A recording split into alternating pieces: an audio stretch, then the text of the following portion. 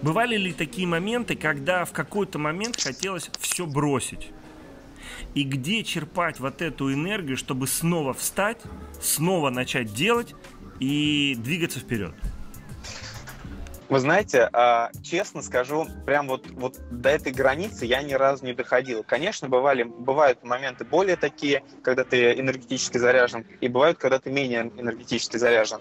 Но у нас как-то так счастливо складывалось, что как только а, какой-то небольшой застой чувствуется, или ты понимаешь, что что-то вот э, скорость упала, происходит какое-то событие, которое бизнес опять возвращает на нужную ему скорость, да, и мы опять бежим и, и так далее. Ну, вот, например, э, э, вот мы в марте, это был февраль или март, мы почувствовали, что что-то как-то все не очень быстро. Тут раз публикация в РБК о нашем проекте, и сразу вал э, каких-то обращений, вал звонков – то есть бизнес снова перешел на новый уровень какой-то.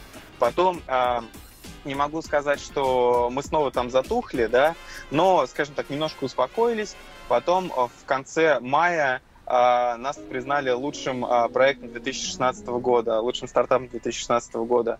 Э, опять это какую-то энергию дает. Вот э, буквально вчера, ну то есть вот я, я говорю про какие-то такие, знаете, точки, которые поддерживают бизнес, и их Э, хорошо бы ими в идеале управлять. То есть э, э, будь то какие-то, ну, опять же, публикации, либо какие-то награды, либо какие-то большие вот э, эм, победы с точки зрения вот клиентов, да, вот, э, то есть, то есть нужно стараться э, в каждом, скажем так, в каждой плоскости, э, чтобы бизнес приносил удовлетворение, не всегда финансовое. Какое-то удовлетворение это дает безумную энергию.